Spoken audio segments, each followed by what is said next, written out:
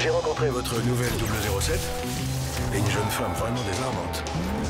Nous éradiquons des gens dans le but de créer un monde meilleur. Mourir peut attendre. Disponible dès le 1er juillet sur Crave.